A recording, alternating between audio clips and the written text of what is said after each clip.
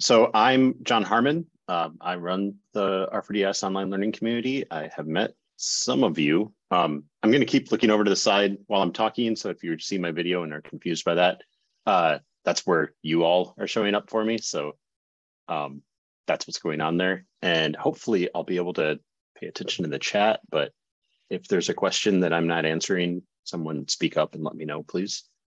Um, so yeah, this is the uh, first meeting of the R4DS Project Club. Um, so I'm going to go through a little bit of an introduction to what the heck the idea is. And then I'm going to present this package that I created, um, Shiny Slack, and uh, some just some stuff around that.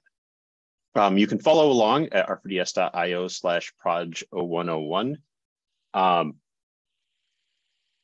that is, this is my first like Quarto uh, Reveal.js presentation. And so it's set up that in theory, uh, as I go through the slides, that if you're look, watching it there, it'll advance you through the slides.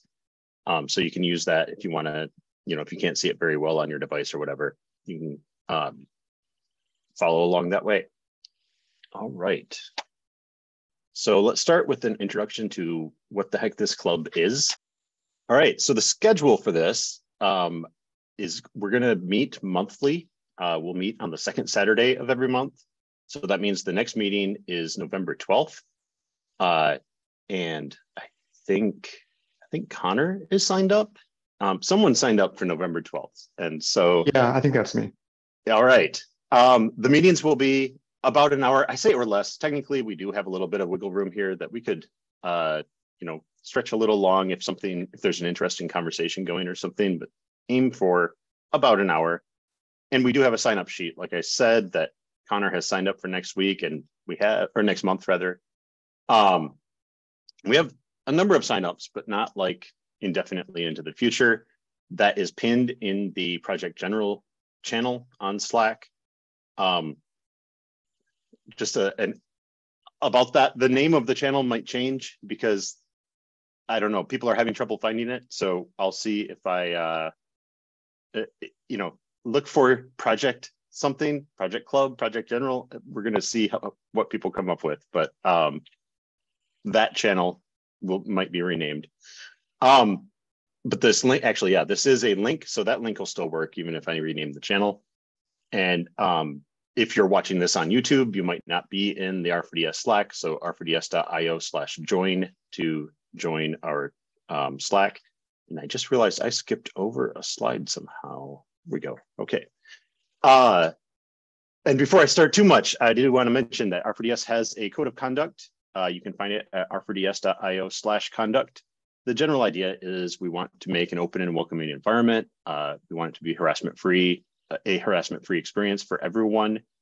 If you ever have a problem in um, this club, one of our book clubs, or with Slack, you can contact us at r4datasci at gmail.com or just ping me at Jon the Geek on the Slack, um, and we will take care of that.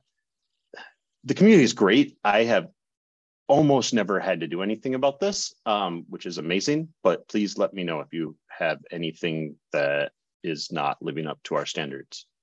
Um, and the point on that is if uh, or it, not the point i mean the point of that is the code of conduct but why i remembered that it was missing is if you're trying to join and r4ds.io slash join doesn't work you can email r4datasci at gmail.com and we will fix that. That is supposed to be a perpetual sign up link according to slack but every once in a while it just randomly expires. Um, so i don't think they know what perpetual means. All right. So what is this club? Um, the idea is to give everyone some practice or allow allow everyone to have some practice presenting about something that you like care about uh, not quite the same thing as with book clubs. Like you might be kind of excited by a chapter but it's not your work. And so we i wanted to let people uh, present and actually practice real you know something closer to a real presentation. Um, since these will be recorded that also means that if you speak you could include a link to that if you're applying to speak at a conference. A lot of times they want to see uh, a talk you've given. So this gives you something to use for that. Um, it's also like another purpose is to allow, like, I am going to be working today to try to recruit contributors. Uh, find if any of you are interested in the package that I'm going to present, you, you, are very welcome to come to GitHub and uh, help me out with that. And so that might be something that you want to do with your presentation. You might want to just show a thing that you think is cool. Um, some open source project you're working on, um, a technique that you think is neat, uh, whatever it might be. It's kind of the same idea as what you would might do at a conference, um, except lots of room to take as long or as short of a time as you want, basically. And uh, I just, I love this quote. Uh, Colin Burke put this into the R packages book club slides, and I want to put it in like all of my slides now for all of the R4DS stuff, because the idea is that none of us is as smart as all of us. There is something that uh, I don't know that one of you knows, or many of you know. There are many things probably. Um, we can help each other out. And so by meeting and sharing these things uh, and discussing them, we can all learn. Uh, so what's the format? Um, well, today, you know, as you can see, it could be a slide deck. Uh, you could do some live coding maybe, or just, you know, showing the code in RStudio or VS Code or whatever. Maybe it would just be a Q&A if you're presenting something uh, that people like generally know about already and you just want to kind of dive in, maybe something else. So the idea here is whatever makes sense to you for a presentation, uh, we're open to give it a try, you know, within reason. Um, today I have a slide deck. I might do some live coding. We'll see where things go by the end. I actually have two Q and A's uh, for the two halves of the talk. And then I don't think I'll do anything else, but uh, maybe we'll see. And so on that note, uh, first Q&A. Does anyone have any questions about the schedule, uh, what we're doing, the purpose, the format, anything else about the club? And I will watch the chat if anyone has anything. Questions? Okay. Yes. Nope, go ahead. Oh, yeah. So like in the book clubs, how we like compile notes. Mm -hmm. I know well, I realize we'll have the videos for this. Are we gonna like put any sort of anything on GitHub? Um, so far, my plan is no, because it's so wide open of what people might present. Um, but I might change about that. Um, which what answer were you hoping for? I guess. Oh, just curious. Yeah. um, I like the idea of shared notes, but because these are so wide ranging, it doesn't make as much sense as it does for the book clubs, I don't think. Um, for example, packages that I use in my presentation, um, others are unlikely to want to use in their presentation. Um, so I don't think it's as coherent of a thing, but we'll see. I um, we do have an account at uh, Quarto Pub for R4DS, as you can see if you are following along with the notes. Um, so maybe, um, but right now, no. so now we'll get into uh, the thing I wanted to talk to you about, this Shiny Slack. It's a package for connecting Slack teams to Shiny apps. Uh, I'm very proud of this hex sticker. I have to get these printed and hand them out at the next conference I go to. I really like how they came out. Uh, that is the Slack logo in neon, so it's Shiny Slack. Um, but yeah, so this package came about because, uh, you know, we have the book clubs, we have uh, a mentor dashboard for R4DS, and I wanted a way to hook what we do uh, in the, the Slack side of R4DS up to whatever else we might do in Shiny. Um, and so let's see what that is. So I did have a lightning talk about this at RStudio Conf this summer. Uh, that video is at r4ds.io slash rstudio 2022v. If you leave off the V, it's the slide deck. Um, the talk I gave was focused on like um, how to use it and kind of the motivation behind it, which I didn't, you know, if you're here, uh, some of you probably have used the Book Clubber uh, app and logged in and seen that it it logs who you are, and we use that to to see or to keep track of things that way. Um, today, I'm going to focus on the underlying code, but I'm also going to talk about most of what I said at the other talk because I've got an hour instead of five minutes. Um, but yeah, the video is embedded, or actually it's linked from the uh, these slides. So if you go to r4ds.io slash proj uh, 0101, or you can go to the link that's showing here. All right, so the, the general idea is that I wanted to add a sign in with Slack button to uh, Shiny apps. And I wanted to be able to do it without having to, uh, signing in is complicated and I didn't want to have to deal with that every time I made a new app. I wanted to just make it easy. Um, and then theoretically make it easy for other people using other Slacks. Uh, so if you want to do this, or if you want to use this, uh, you can install it using the remotes package. Uh, install GitHub r4ds slash shiny slack. That's where the app is on GitHub. Um, and this is my first like question that uh, I would love to get an answer to either on the Slack or live right now. You have to tell it to build the vignettes when you install it, and the there are useful vignettes in this. I don't know, like I swear that it.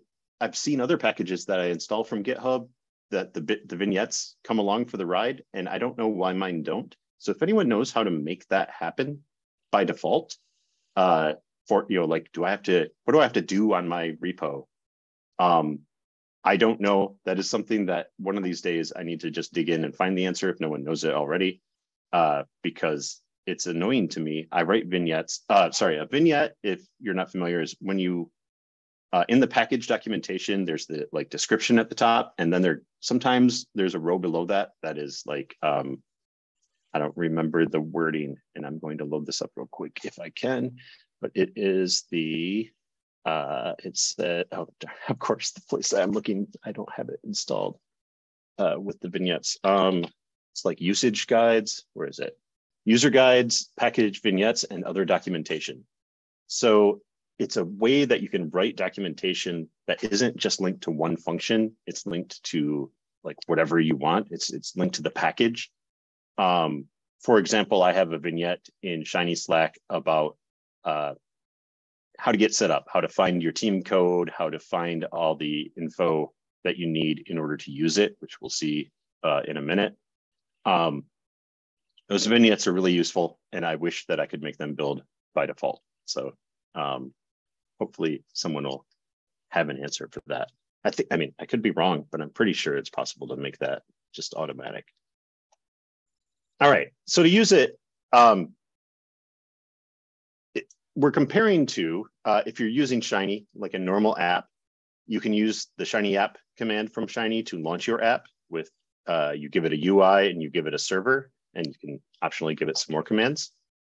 With Shiny Slack, we just change to from Shiny app to Shiny Slack app, still give it the UI and the server, and we have to give it a team ID and a site URL. Um, and as you can see, there's a number 25 next to that, and there's this link down here, and hopefully, um, yes, I, I hope that you see that I, I loaded this uh, URL.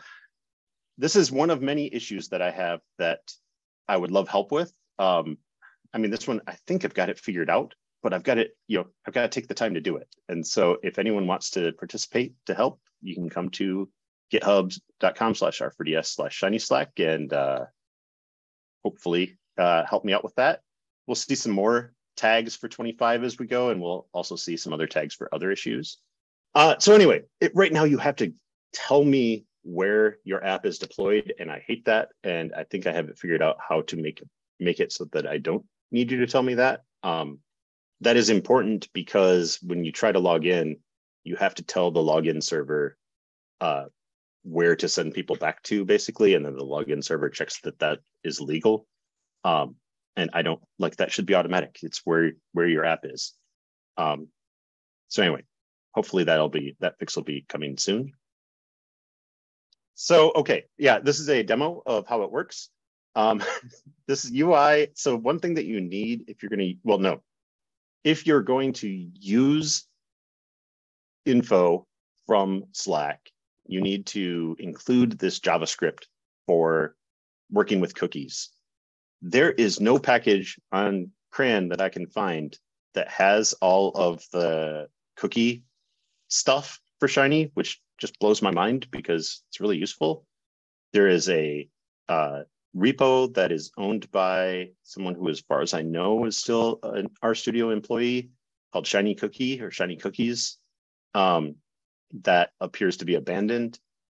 There's a repo by uh, Colin Fay out of uh, ThinkR France, who does a lot of Shiny stuff. He has a repo called uh, glouton um, or gluten. I'm not sure exactly how to pronounce. It's like the French word for gluten, I think. Um, that one also handles cookies and is not on CRAN. And he uh, actually prefers that people use a different package. He doesn't think there should be a package that handles cookies. I think there should. So right now I put it all in this package called scenes that I have that it has a whole section that is these are functions that should be in their own package, but I don't haven't had time yet to make that package. Um, so that's a whole separate project that I want to make a package that handles cookies. Right now, I've got a few functions that handle most things about cookies. And that's what this is doing. This is just adding to a UI uh, the stuff that's needed to deal with cookies. Um, and then my UI is just super, super simple. It's a you know fluid page, but it only has one thing on it, which is a text output of a username. If you're not familiar with Shiny, that's fine, but uh, just know that this is going to find a variable named username, or, or it's it's creating a um, a, a div, a, place on the page named username, basically that the server can fill in with some sort of text. So that's uh, that's the UI. The server has these functions is logged in. This is using, or sorry, it has uh, the object is logged in, which is created using the check login function from Shiny Slack. That just takes the input and the team ID um, and returns a reactive, uh, a Shiny reactive that will be either true or false. It'll be true if you're logged in, false if you're not. Uh, also, I have a username reactive that take, uses this user info function, and that uh, you can get various components, but here we just want the username component. And then I take that, uh, or I, I set the output username using render text. Uh, if they are logged in, so that's what the shiny req means, it will display the username. Um, that's the whole thing. That's that's you know my little silly test app. Um, and then we launch it with Shiny Slack app, UI equals UI, server to server. I give it the team ID, which I also had above this uh, team ID. There, like I said, there's a vignette on how to find it. If you load a uh, Slack, uh, like if you launch a Slack message in a browser, this ID is there. Or if you um, like go to the page uh, to sign up to like um, pay for Slack, it'll give you the the URL or the team ID there. Um, obviously you, this is the one for R4DS. So if you're making something that deals with R4DS, that's the team ID. Um, and then again, I have to give it this team ID or team site URL, which hopefully I won't have to give it soon. And just to see what this does, I'll actually launch the app. Um, and so this is R4DS community.shinyapps.io slash shiny slack. Um, this UI is uh, not great. And there is an issue in the repo about, hey, help someone who is um, a designer help me make this not so bad. Uh, but it gets the job done. So when we first come here, here we have this sign in with Slack button. Click that. It's going to ask me if it's okay. And I say yes. And then it comes back and now it actually loads my app, which again, my app is just print my name. Um, if you're watching this and you go to the URL and you log into our Slack, uh, it should show your name. Now that username is like the name you gave Slack when you first signed up, and it doesn't always show up anywhere anymore. Um, but it will give you a name. It will give you the name that Slack knows you by, basically, uh, that our Slack knows you by. Um, I'm going to go ahead and delete that cookie. So if I, because we're going to we're going to look at that more uh, as we go. So let's go back to, there we go. Okay.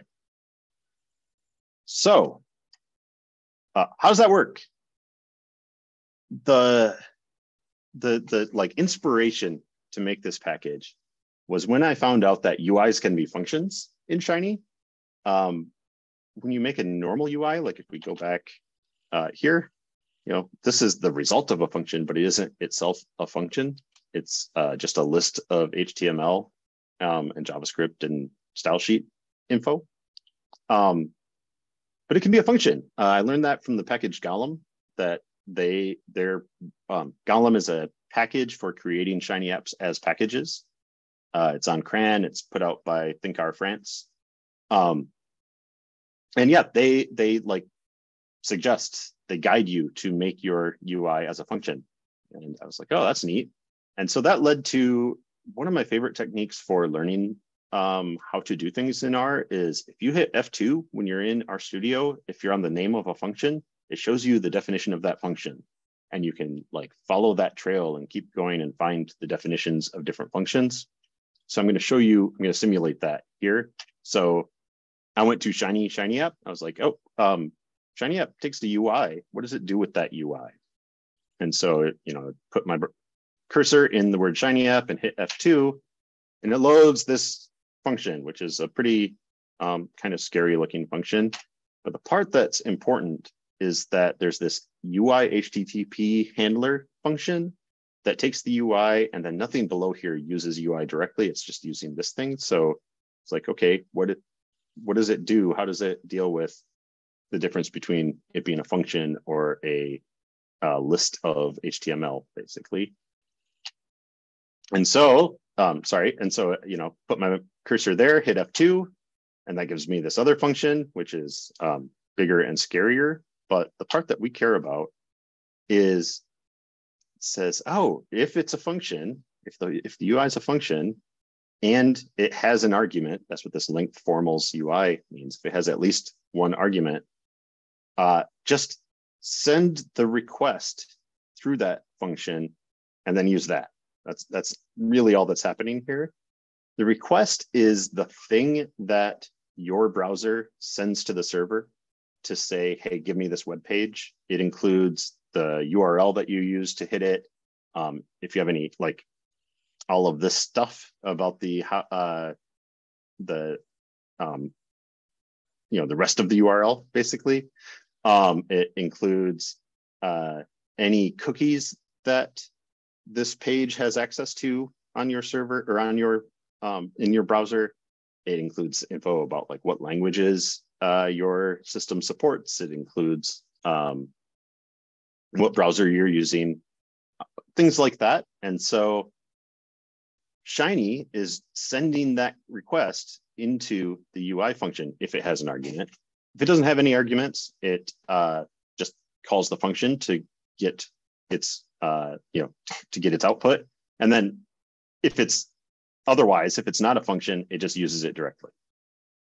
And I saw that, and I was like, well, okay, if I had a function that uh, you know, if I want to like use the request, if I want to use cookies, if I want to use uh, things in the query in, or in the, you know, in the URL, uh, I can just have a UI function and then I do things with the request and then I return whatever the other UI function was. Maybe I, I do this part uh, for you. So since uh, Shiny thinks that it's already been processed, but Shiny doesn't like care. Shiny really just wants the output. It wants the thing at the end that the function generates.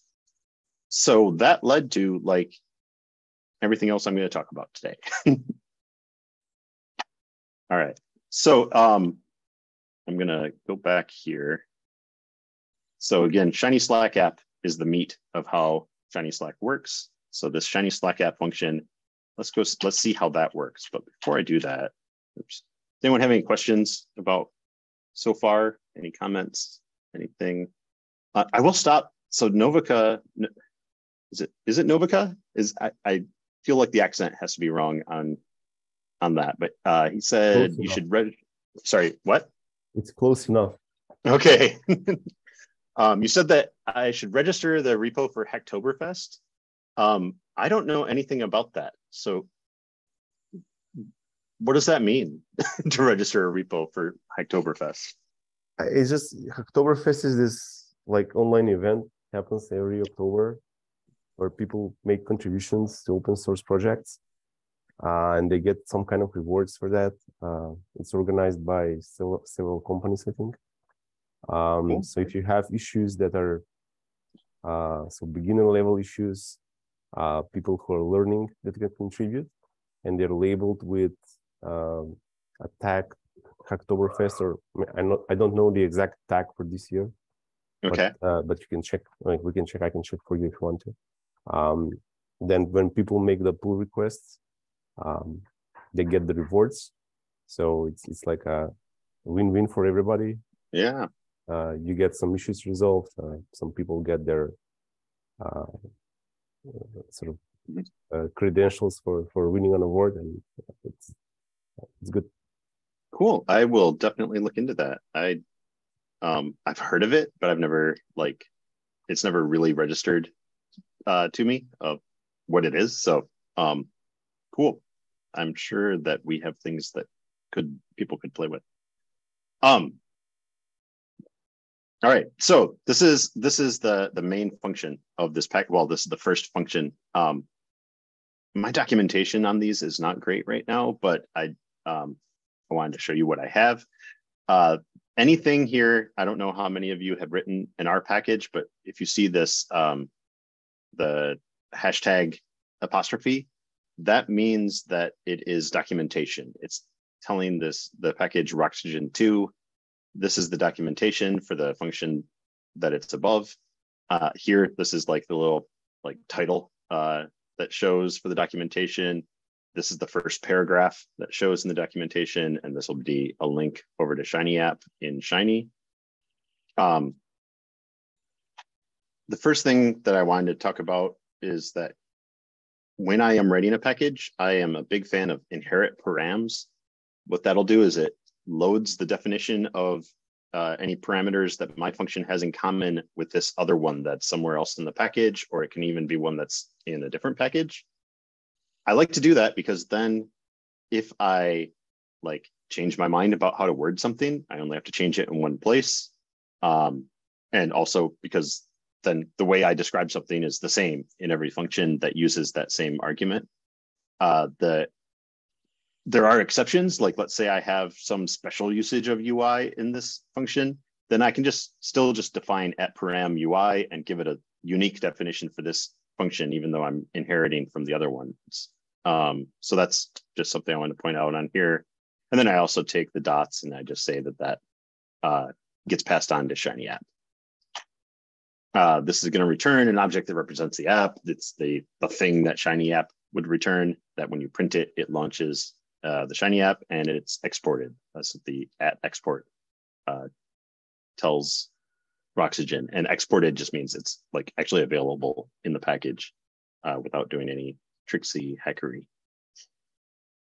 Um, and so yeah, it's this function. It takes a UI, a server, team ID, site URL for now. Hopefully we'll get rid of that. Uh, and the uh, expiration, which is the expiration of the cookie that we're going to be setting um, and then also anything else that you want to pass on to Shiny app. Um, so there's a question in the chat, is inherit params only something for Roxygen docs? How do people manage the same functionality in regular code? Uh, it is only for Roxygen docs. And to be clear, what you are inheriting is the help doc for that parameter. So you're inheriting the description that shows up uh, when someone looks at the help for the function. And so I don't think they're like, I'm not sure what it would mean to do the same functionality in regular code. Um, because in this case, it specifically means documentation is inherited from the other documentation. Did that answer your question? I will watch for an um, answer. Almost, but I will type up a follow up. Okay. so I might have more to say on that in a moment. Um, while he's typing, uh, so what I'm doing here, like I'm not going to dig into every little piece of what's happening, but I capture those dots that anyone might have passed in using this function list2 from rlang. Um, that just lets you, it, it handles all the weird tidyverse or tidy, tidy eval stuff, uh, but it's basically just making a list that has the dots. Um, and then I'm taking the op any options that got passed in in dots and the site URL, which hopefully I'll just do the option soon. And I pass it through this thing that all this does is if it's interactive, it sets it up to load locally. If it's not interactive, it deals with um, anything that's in the query part of the parameters, anything that's after the after a question mark. Um, and then after I parse that, I take, and if you passed in options, I get rid of it. Set that to null because now those options are in this parsed object. So, so to follow up on the question from before, for example, function one is uh, function my long list of params. Function two gets function new params, comma dot dot dot, comma inherit params function one. No, uh, that isn't what this does. You still have to tell it what params uh, are in are arguments to your actual function. Um, I think there might be some code that deals with that, but I don't, I've never done that. So if you are defining a function, you still have to list all the arguments to that function. Um, I think it's dangerous not to, because if you're going to directly use the arguments from another function, then you want to know what they are. And if you're not going to directly use them, they can just be dots. You don't have to do anything special to inherit them. You can use this dot, dot, dot construct in R, and that just means anything else that they send in. And then normally, if you're not doing these weird things, uh, right. And so, yeah, Gus points out that you can use dot, dot, dot to access the extra arguments. In a normal case where I'm not modifying what they set, pass in in dot, dot, dot, you would just pass dot, dot, dot through to uh, the next function. And so that's a, a, you know, like function one might take dot, dot, dot, or sorry, function two would take dot, dot, dot as an argument, and it would just pass dot, dot, dot through to function one uh, directly. So it, I'll type that in chat that it would be, you know, function two might have funct one and like literally just do that where it's got dot, dot, dot as the arguments that you passed to funct one, and then that passes through. Awesome. Thank you so much. Yeah, you're welcome. Very welcome. All right. Um, so now, yeah, I've got my parsed arguments uh, that I care about. I've got the dots cleared out or the options cleared out of the dots. And then, uh, yeah, sorry, I wanted to point that out. And then I do this rlang exec, which is um, call this function. So the first argument is the function to call, which is Shiny, uh, Shiny app. And I want you to call it with the UI will be my fancy Slack Shiny UI that takes the UI and does something to it um, with this parsed uh, site URL and the expiration that they passed in. Uh, server just passes straight through as the server. The options are the options that I've pulled out plus some things that I've added onto the options. And then this weird thing here, uh, bang, bang, bang dots is how, uh, how you pronounce that. Bang, bang, bang is a Rlang thing. Um, Rlang is like the package behind all of the tidyverse code. Um, and oh, Big Bang, I hadn't heard. Okay, that also works. But bang, bang, bang. Um, I I think of it as so it's three exclamation points, just like three the three dots. And what it does is it takes whatever's after it and turns it into dots. Like it expands it out into multiple arguments. Um, and so that's what's happening here is it takes, I'm taking the dots and I'm expanding it back out from a list into separate arguments.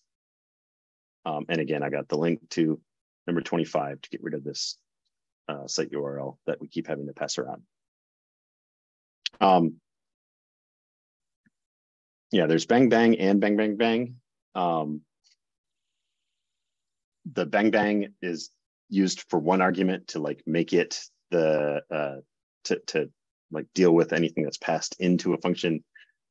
We aren't going to be using that. And this is the only place that I use bang, bang, bang, I think in this whole package. Um, and again, bang, bang, bang is just to expand a list out into separate arguments. All right. Now though, so this Slack Shiny UI, this is really the meat of my package. So let's let's see what how that works. So all right, Slack Shiny UI uh, this is the function that it's a function factory, which means it takes uh, takes some arguments and it returns a function. Um, and the function that it returns wraps around a shiny UI uh, to to you know make it uh, have all the login info. If they don't have a cookie for that site, they are prompted to log in. Once they have a cookie, the UI displays as normal. And I've got this number five here. Uh, number five is uh, GDPR, et cetera, that uh, technically I shouldn't require that people use cookies. I should allow you to log in without cookies. Um, and so there are going to be these number five decorations that are here's all the places that uh, touch this issue. Um, and so again, if anyone wants to help with that, uh, I've got parts of it figured out, but I don't have this one as completely like pre-solved as number 25 is. I just need 25, I just need time to do it or someone to take the time to do it. Five, there's some more figuring things out left to do. So here I inherit params from, uh, this is something that I did in this package and I think I started doing in a couple other packages since then that I have an object at the like front of my package that it's just a Roxygen block and then null. And that lets me, and it, it has at name dot shared hyphen parameters. And that lets me put a bunch of parameter definitions into one place and I don't have to remember which function they're defined in because throughout this package, I've got UI, team ID, site URL in lots of different functions. And I didn't want to have to keep like, I didn't want to end up with a circular reference of uh, inherit params basically. So I have this one dot shared parameters and that's where I define a, a bunch of things. Um, I don't think I've seen anyone do that. So uh, I think I made up that idea. Um, and then I also inherit parameters from this parse auth code function that I'm going to call. Generally, what I do is in a function, if I call a function I in, and pass a parameter through to it, I inherit from that. Um, and otherwise, you know, define all the parameters separately, except in this case, I'm using all these reused ones. Um, I'm going to return a function that defines the UI of a Shiny app, either with login or without. And I'm going to export this. Um, as we've seen, this function takes UI, team ID, site URL, and an expiration. All right. And now we're going to get into the craziness of how this package actually works. So um, what I want to do is I want to set up different cases of um, what should the UI be in different cases. So the first case is if you already have a cookie, a, a token for Slack uh, in your in a cookie, I'm going to use this other package that I'm not going to go into how it works today probably, but I'm going to talk a, fair amount about um, about it. And actually, I just saw the time, so we'll see how much I talk about it. But so this package scenes is some, one that I've almost finished. Uh, it's I finished it enough to work for Shiny Slack. And the idea is it takes a UI and a condition. So here, or one or more conditions, zero or more conditions actually. Um, this is the condition of the request has a cookie and that cookie has to have this name that I generate from the team ID and it has to, uh, this validate function uh, that's in Shiny Slack has to return true. Um, and then team ID gets passed into the validation function. Um, and so the idea is if they have a cookie that has the name of, you know, Shiny Slack underscore name of the team, something like that. I can't remember exactly what I named the cookie. Um, it will take that cookie, take the value of that cookie, pass it through this validate cookie token function that I have. And if that function, basically that function does a super simple query to Slack and says, hey, is this is this token valid to, to do that query? If so, it returns true. Otherwise, it returns false. Um, and if it is true, so if this thing is true, this UI will get chosen by uh, another scenes function coming up. Did that at least kind of make sense? I know that's a weird concept, especially if you're not like a big um, shiny nut already. But, all right, I've got a thumbs up, so I'm going to move on. So that's first case that they have the cookie we display the UI and here we're just we're displaying the UI that you passed in. So if you already have the cookie, you're already logged in. And if the cookie is valid, good. All right, we'll display the UI that you want to display. Next one, I, I call out that um, if we're letting it work without cookies, that still should work. So there should be a version that deals with that uh, once we implement the cookie-free version. All right, the third or the, the second main case is they're returning from the OAuth endpoint. So this is, OAuth is like a system of uh, authentication. It's used by Google. I think it's used by Facebook. It's used by Slack. Uh, and like, I swear every guide to how to use OAuth is aimed at people who already know how to use OAuth. And it drives me crazy. Um, it's really hard to learn how to use OAuth from scratch. Um, but I, am mostly there. I mostly understand it now. And OAuth does this thing where you um, send uh, some info to a URL and tell it where to go back to. That URL, if that info is valid, sends a code back to the original URL. Um, and then that original URL can exchange that code for the token, the actual thing that tells uh, whatever it is that's asking for permission. Uh, it's the token is the thing that that thing actually uses. Um, so it's this like multi-step dance, and it's making sure that the site that you're trying to use um, you have access to, and that that is allowed by the endpoint as a, a legal valid place. Which is why I need the site URL everywhere, because um, I need to pass that through so that OAuth can say, is it um, is that valid? So that's what's happening here. We're going to go the theory. We're going to go into this code a little bit more, but that's the general idea. Uh, so I, I am generating a UI, a UI with this parse auth code uh, function, and I show I send that UI back to the user if the request has query. That's um, like if I did uh, code equals blah. So the question mark code equals blah is the query section of the URL of the request. If the if there's a query that has that is named code, I do this uh, UI. And again, we'll go into that function a little bit to see what it does, but it it it will deal with is the code valid basically. So that's the next UI. And then the final UI, uh, the default, see, it doesn't have any uh, requirements on it. It's the fall through. If they don't have a cookie, they don't have a code, then I have to give them the login UI. And the login UI is uh, well, that went to sleep, but it's it's this one. It's the this. So that function generates this. Um, it generates the URL that we link to, and we're going to look at that in just a second. Um, and yeah, it uses the site URL and the team ID to generate it. Soon it will just use the team ID uh, to generate it. Um, all right, and then the last piece is the other main function from scenes is this change scene. And that is the thing that takes all these separate scenes and decides which one is valid for a certain situation. Um, it takes them in order. So if has cookie token, um, like if its uh, uh, requirements are true, then it ignores the next two. If it's not true, then it goes to the next one. And then finally it goes to this one. Um, but yeah, that's the idea. It's deciding what to show.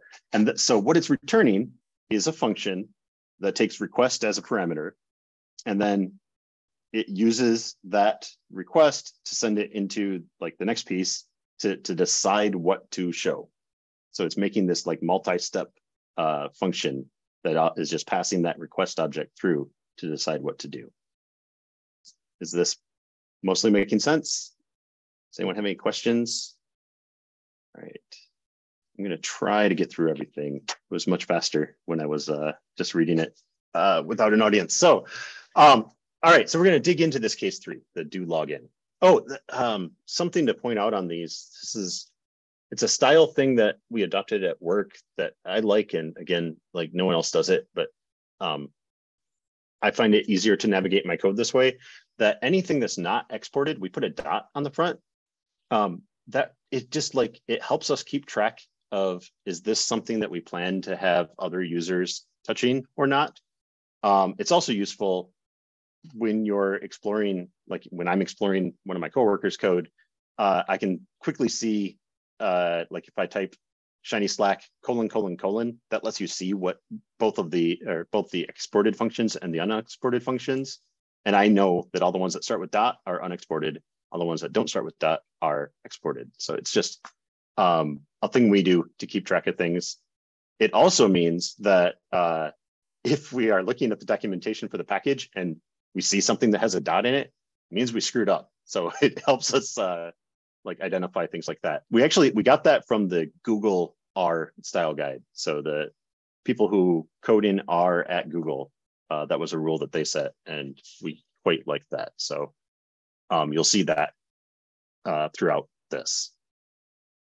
Um, other than that, we just use the tidyverse style guide, but the the dot do well, no, there are still a, there are a couple other things that I do that are weird. Um, one of those being, I also like to explicitly return. You don't need to say return in R.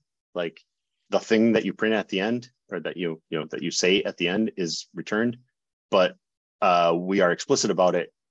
Just if you're in a bunch of ifs or whatever, it it makes it clear. Oh, right, that's the thing that we're returning. It also kind of forces us to go, oh, oops, like, you know, if I had an assignment here, it wouldn't actually return the thing correctly. And so uh, it makes me realize, oh yeah, this is the thing I'm returning. So again, uh, those are the two weird things you will see throughout my code. All right, so let's go look at what does do login do. So this is the function that actually, you know, like I said, it generates this, this UI that has the login button. Um, it takes the site URL and the team ID.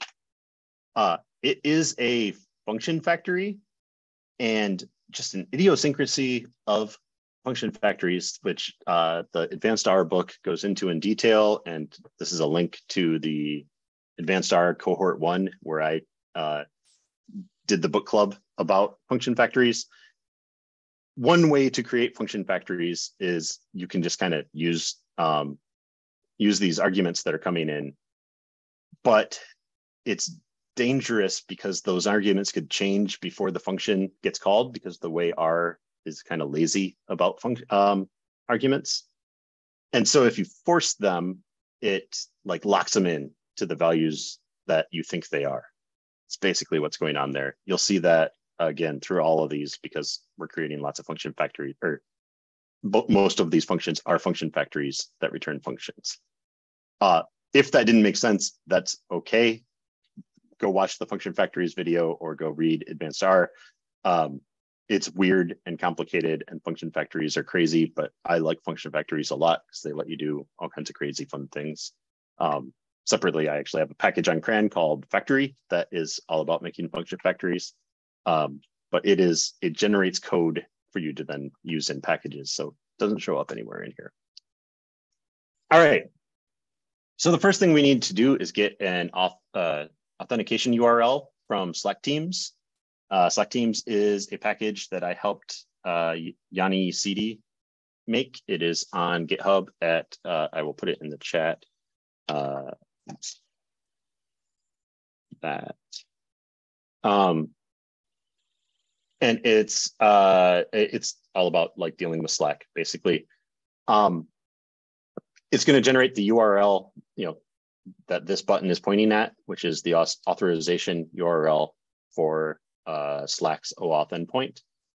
Um, the main thing here is I've got an issue for right now. I just use like all the scopes and really we shouldn't do that. We should request the scopes that the user actually cares about. And so um, that is an issue that I would, I need to do one of the at, at some point, um, be a little bit more limited in the scopes that we request. Um, scopes are like permissions. What, what does this app uh, have permission to do? And right now, um, any app that uses Slack Teams um, is asking for permission to do basically anything in Slack. Um, it's all used internally in R4DS, so it doesn't really matter that much right now, but I could see other use cases uh, not wanting such a wide thing. And so I, I, generate that auth URL, and then all we do is we have a shiny tag list. And this is again, number 15 is the issue of make this pretty, that it just has uh, the, you know, log in via Slack to access this site and um, a link to this uh, SVG or a link to the button, sorry, in Slack button style um, with this uh, SVG is the logo and then the words sign in with Slack. So um, these are uh, like objects that I define elsewhere in the package, dot Slack button style and dot Slack logo SVG. They're not exported, so I have dots on them. Um, and they uh, like just are defining that style info. So does this, does the general idea here make sense? So I'm, I'm just making a function that returns a, um, returns a, a UI. And the reason that it's a function is we need to use this request to figure out where to go to. So if we look at this, uh, down at the at the very end has redirect URI. That is, where am I sending? You know, where do you need to go back to? Um, and in order to know that, I need to get some info from the request because I want to make sure I pass through uh, anything else that they had in the in the original request. Okay. All right. So the next case is, uh, so now if I click this, we're gonna just briefly see the next case. If you watch really close, when I click allow, it's gonna go back to the URL and it's gonna have a code equals something that you won't be able to see. And if you pause the video and try to steal that code, it's only valid for uh, a short time. So that code won't do you any good to uh, impersonate me. Um, but it's going to show the code for just a, a second. And that when it shows the code, that is what we're going to generate. So it was there and then it went away. That the um, UI while the code was there is what this parse auth code is generating. And again, that one only shows up when code is in the URL. Um, and so this parse auth code is another internal function that is going to turn turn that code into a token, and then um, actually like save it into a cookie uh, and reload the page. So let's see what this looks like. Um, again, I force all the arguments because it's function factory. Um, and then I return a function that takes the request.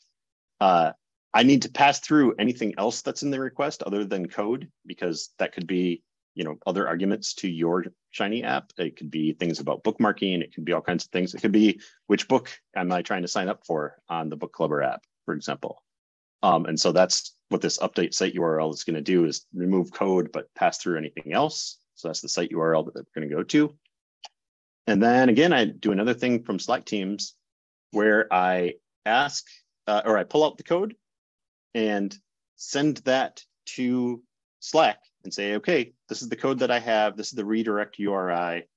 Uh, is this valid? Can, can you give me a token, please? And it will either throw an error or return the token.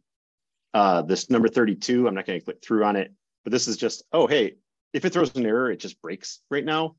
Um, to a degree, I don't care that much because if this throws an error, someone's probably messing with us. Um, but it would be nice to to do it a little bit more cleanly. So I'll, show that real quick. If I clear out my cookie, I go over here and say uh, code is bad. So it throws an error. Um, our log, my log on uh, Shiny Apps right now has a log of what happened, but it's actually a pretty um, hard to follow log. I guess partly because I have verbose, equals false there. Um, but we should do something a little bit better, I think. So that's a, a ticket that I have is to deal with that. Um, all right. And then I encrypt the token. Um, I've got a simple little thing that just looks at an environment variable. And if you have it set, it uses that environment variable with the package sodium to encrypt the token. And then I save it. Um, again, this is another cookie function that should be in a cookies package, but right now it's over in scenes. Um, and it's setting the cookie. It's uh, it's so what it's actually doing is it's um, and yeah, go ahead and hop off anyone that needs to. I know that I'm running long, uh, but I'm going to try to finish. Almost done, I think. Uh, yeah, almost done. All right, so it's it's sending back JavaScript that will set the cookie with the contents that I tell it and the name that I give it and the expiration that I give it. So that's what this set cookie is doing. Um, is creating that JavaScript.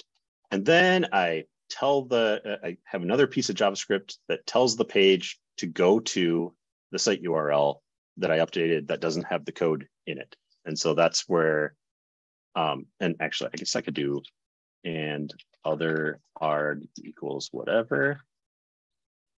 And we'll be able to see that when I sign in and I click allow, it keeps that other arg equals whatever, um, but it got rid of the code uh, when it goes through. So this, this here is what happens after this function, which means that we have the cookie set. Oh yeah, we're at the end.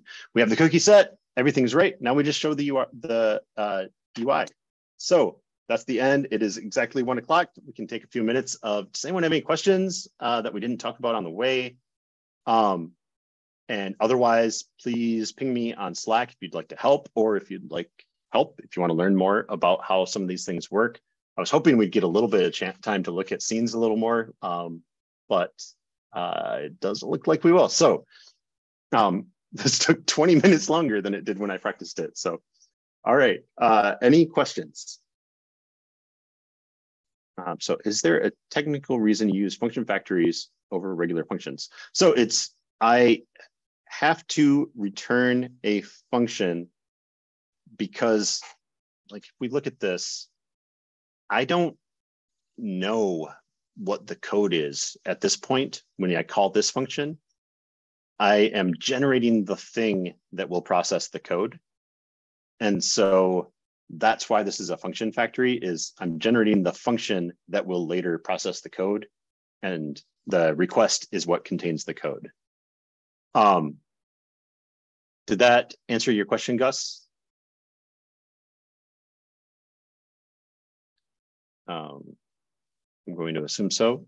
And uh, okay, yeah, Gus is uh, recovering from vaccinations, so uh, he will watch later, they'll watch later to see if that covered the question or answered the question. Uh, Connor asks, what other use cases besides R4DS do you see for this package? So um, we use Slack at work, and we have uh, some projects that I've done. Um, the projects uh, were before I did this, but I wish that we had had this to tie into um, working with people. Like we could have a dashboard, for example. You could have something that um, in a dashboard that allows them to ask a question that would send it to you in Slack, for example, if you use the login with Slack. Um, I have many cases for, for R4DS that are coming still. So we've got the mentor dashboard for R4DS um, which you can see at r4ds.io slash it was already auto filling mentor dash. Uh, this is all of the unanswered questions on uh, R4DS. Oops, I haven't actually logged in. So um, and so yeah, that this is the questions that are currently in need of being answered. Um, we also have the Book Clubber app that, like I said, most of you have probably seen. And I want to make one that like helps people ask better questions, basically. So you can go to the app and it'll guide you through um, making sure that you have a reprex and uh, or reprex, I guess is how they pronounce that. Um, but yeah, I, anyone who uses Slack, like at a minimum, you can just use it for a login on whatever you have, uh, as long as you can get the code and get your administrator to install, because uh, you need an app on the other side of it. Um, the this package, actually, this uh, the Slack Teams package has a vignette on adding Slack Teams to your Slack. And um, it used to be hard, and now it's relatively easy to create an app because it needs something on the Slack side to talk to. Um, that I, I talk about that a little bit in the R4DS or in the RStudio talk. Um, but yeah, you could use it for anyone that has uh, Slack. Anything, anyone that uses Slack, you can use it just for the login. Um, if you have something you want to put behind a login. Scenes, um, I could see more use cases for because um, scenes is where I abstracted out the idea of having different UIs that you show in different cases, and that one I think uh, has a lot of like for example, I'm gonna make a package for OAuth for Shiny that um, there is one, but it's I don't like the way they do it. Um, but I'm gonna make one that does uh, and actually I don't think it's on CRAN anyway, but uh, um, that allows you to make your own OAuth package like Shiny Slack, for example. Um, you can also, do, there's lots of things that you can do with the queries. So you could have it, um, it is. So Connor says, scene seems like Switch for Shiny UI. Uh, yes. Um, it was first called, at first I called it Light Switch, um, but it sounded too much like it was on or off. Uh, so it became scenes. Um, but it's, yes, it's a, uh, package for choosing different UIs for different all kinds of different cases. The ones I have implemented right now are those query parameters, cookies. You can also do it um, based on the request method. Um, it could be get or post, or there are a bunch of other um, HTTP methods. Uh, that's um, I only know of one person who has used posts in uh, Shiny, but you can. Um, uh, plans to do some more experiment uh, experimentation with that. But that's a so that's the thing I deal with. But it also allows you to do things like um, you can change the entire app based on the language of the user, for example. Um, most of the time, you probably wouldn't want to change the whole app, but maybe I don't know, maybe the app is completely different depending on what language someone speaks, or depending on uh, what browser they're using different things like that. Um, or, you know, theoretically, you could use it for like A-B testing. Um, although I'm not sure exactly what in the request would make sense for that, but um, yeah. Anything else? No, we went a little bit over. Let me see if I missed anything else. Um, I think that's it. Okay. Um, so yeah, next month we will have Connor. Uh, I don't remember what Connor's going to tell us about, but he's going to tell us about something. it's going to be a, an app about uh, exploring census data. Oh, cool. All right. And I, and I just now thought of a use case for scenes in that app. So awesome. Well, that one I plan to get up onto CRAN pretty soon. Uh, Shiny Slack right now uses Slack teams, and getting Slack teams onto CRAN is going to be a pretty heavy lift um, because Slack teams has a whole like there's a whole universe of Slack related packages that uh, Yoni put together, and right now the way they test like they trigger tests in one another, and there's this complicated stuff that uh, it's like too complicated to go to CRAN right now. Um, but we have talked about doing the effort to get Slack teams up on CRAN, and then after that, putting Shiny Slack up on CRAN. Um, but yeah, Scenes uh, doesn't have a lot of dependencies. I guess the first thing, the thing I need to do before Scenes will go to CRAN is pull all the cookie stuff out. It belongs in its own package. And so I'll probably get that package up on CRAN and then uh, Scenes will be on CRAN. Um, and the reason to do that is I don't want to have these exported functions and scenes that I then remove. Um, once it's on CRAN, like I want it to be anything I export, I want to stand by basically. And right now, Scenes is exporting a bunch of cookie related functions that it has no business having anything to do with. Um, some of them it doesn't use at all. And then, but the reason I put them all there is it had some cookie things that it did use. And so uh, I wanted one place to pull them from. Um, all right. Anything else before I click the button? Uh, again, this is at r4ds.io slash proj0101, and I will see you all on Slack. Thanks, Jon. Thank you. Bye. Thank you. Bye. Bye. Thank you.